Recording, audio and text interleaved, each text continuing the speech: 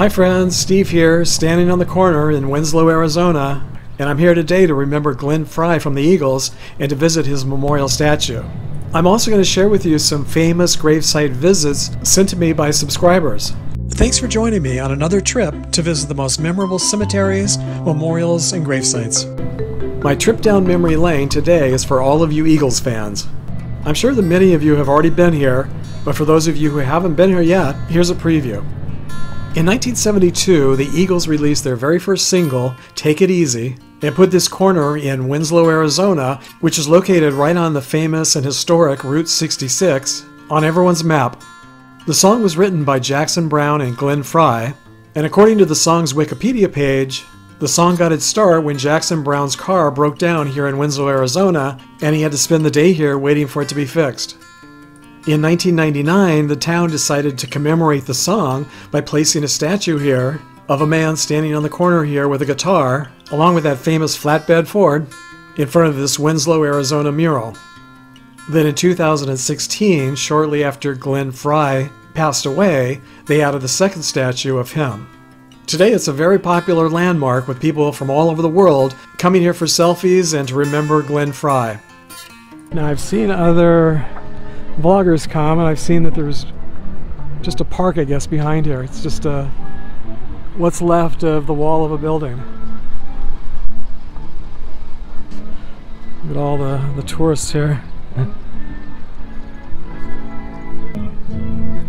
it's pretty easy just to uh, hop off the freeway and then hop back on.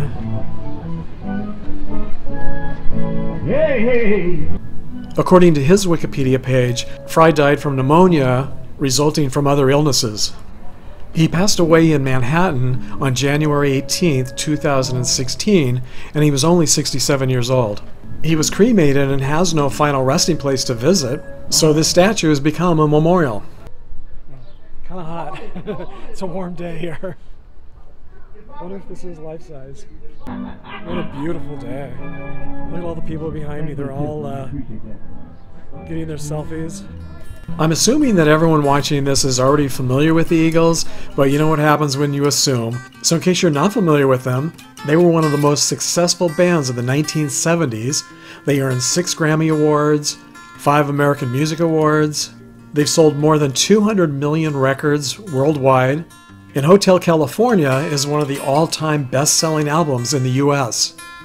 My favorite Eagles song has always been Desperado. How about you? What's your favorite? Share with us in the comments section.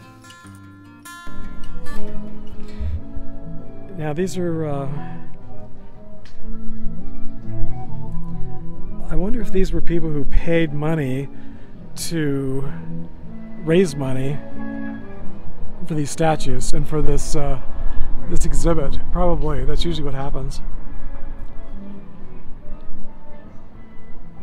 There's so many people here. I want to try to get a picture before uh, it's so bright it's hard to see.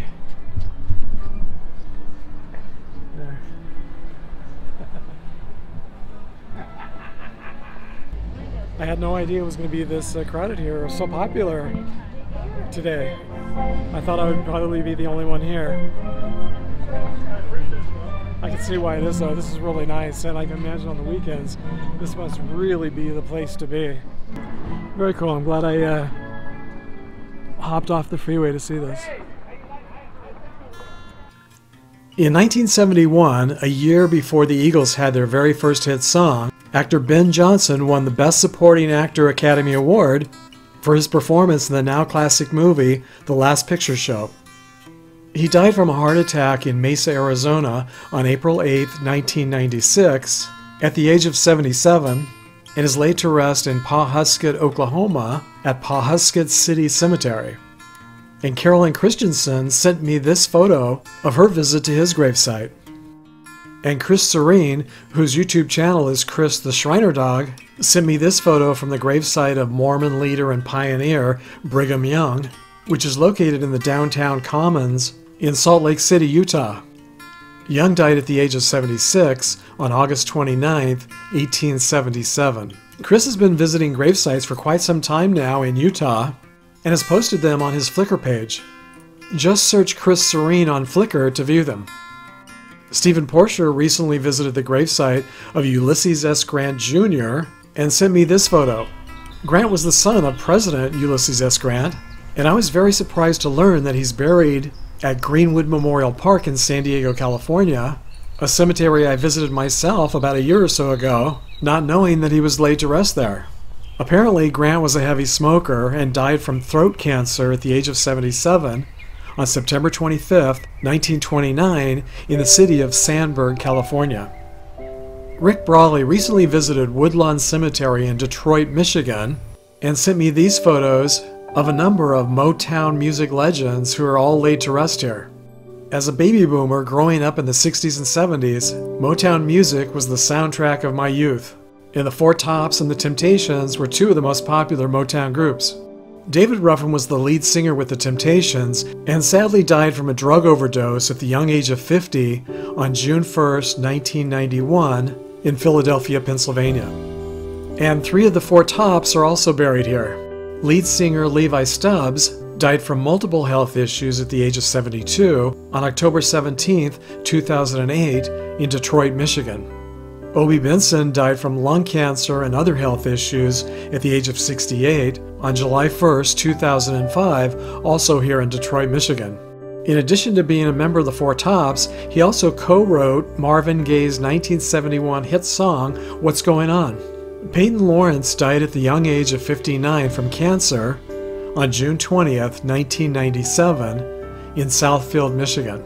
And I think it's pretty cool that all three of them are buried here together at Woodlawn Cemetery. And I'm happy to say that the last surviving original member, Duke Fakir, is now 84 years old and still performing.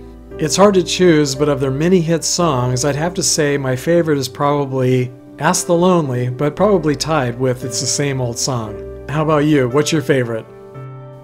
James Takacs sent me these photos from his visit to Duke Farms in Hillsborough, New Jersey. The property is home to Doris Duke's pet cemetery.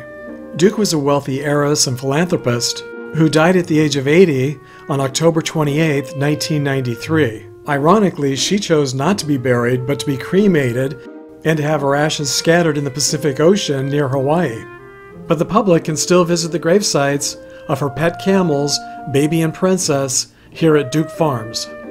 For some reason, seeing these headstones reminded me of Michael Jackson's pet chimpanzee, Bubbles, so I googled him to see where he's buried, and it turns out he's alive and well and living at the Center for Great Apes in Wauchula, Florida, and is now 36 years old. Subscriber Edward Petty sent me this photo of his visit to the gravesite of Jeffrey Hyman, whose stage name was Joey Ramone. The lead singer for the punk rock group The Ramones, he died in Manhattan at the young age of 49 on April 15, 2001, and is laid to rest here at Hillside Cemetery in Lyndhurst, New Jersey. So thank you, Carolyn, Chris, Stephen, Rick, James, and Edward for sharing your gravesite visits with us. And I also want to thank my latest Patreon supporters, Jay Etchell and Optimum Prime and my existing Patreon supporter, Stuart Chastain, for recently increasing his pledge. Thank you, Jay, Optimum Prime, and Stuart for helping to make these trips possible. So if you enjoyed today's video, please give it a thumbs up and share with a friend. And don't forget to subscribe if you haven't already done that. And if you did enjoy today's video, you might enjoy these as well. So, until our next trip to the graveyard together, thanks for sharing the memories, everyone.